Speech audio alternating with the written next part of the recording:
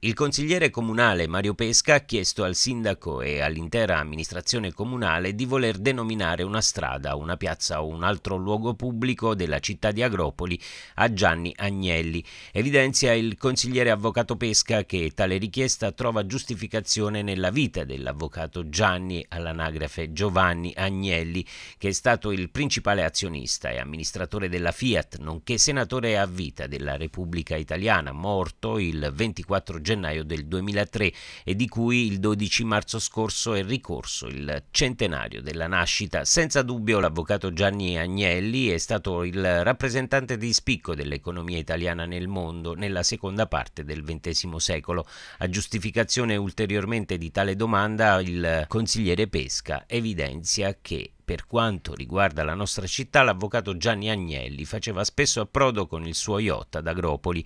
Iniziò questa frequentazione per rendere visita al suo precettore, il professor Franco Antonicelli, che è stato un saggista, poeta e antifascista torinese, uno dei maggiori esponenti dell'intellettualità piemontese di quel tempo. Franco Antonicelli venne inviato negli anni 30 in esilio proprio ad Agropoli, città la nostra che egli continuò a frequentare per il resto della sua sua vita. A ricordare l'origine delle frequentazioni con la nostra città fu lo stesso Gianni Agnelli quando nel 1990 attraccò con la sua nave nel nostro porto e disse ho sentito parlare di questi posti grazie ai racconti che mi faceva Franco Antonicelli, il mio istitutore. Credo quindi, conclude Pesca, che la città di Agropoli nel compimento del centesimo anno dalla nascita dell'avvocato Agnelli debba ricordare questo illustre suo amico, dedicandogli una strada, una piazza, un luogo, possibilmente dove lo stesso si è incontrato con i nostri concittadini.